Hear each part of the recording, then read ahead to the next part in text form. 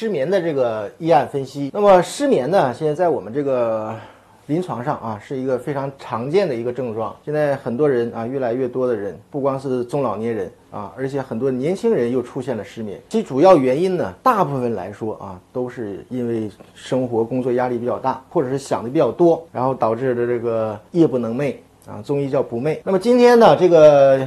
医案呢，这个病例呢是一个女性啊，她五十五岁啊，刚过更年期。来诊的时候呢，主症呢就是失眠啊，失眠呢，它主要是一个是入睡困难啊，每天呢床上啊翻那个一个小时左右啊，有的时候两个小时也难很难入睡。然后呢，再就是啊，睡眠的比较浅啊，即使睡着了啊，也就也是啊，睡得很浅啊。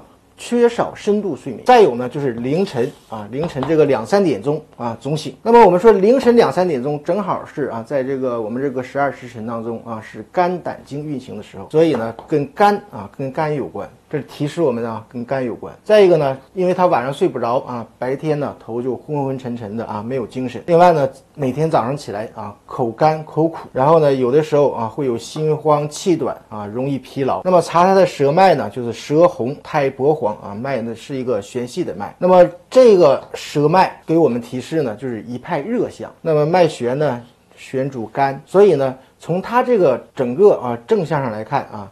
中医辨证呢，就属于这个肝郁化火啊，热扰心神。看这个口干口苦，凌晨两三点醒啊，这个舌红啊，苔薄黄，脉弦细啊，这都是肝郁化火的一些症象。然后出现了热扰心神，所以在治疗的时候啊，我们就采取啊疏肝解郁、疏肝理气、清热安神。因为这个患者啊正好是五十五岁啊，刚过这更年期，所以这个肝气啊郁结啊，平时也总是爱生气啊。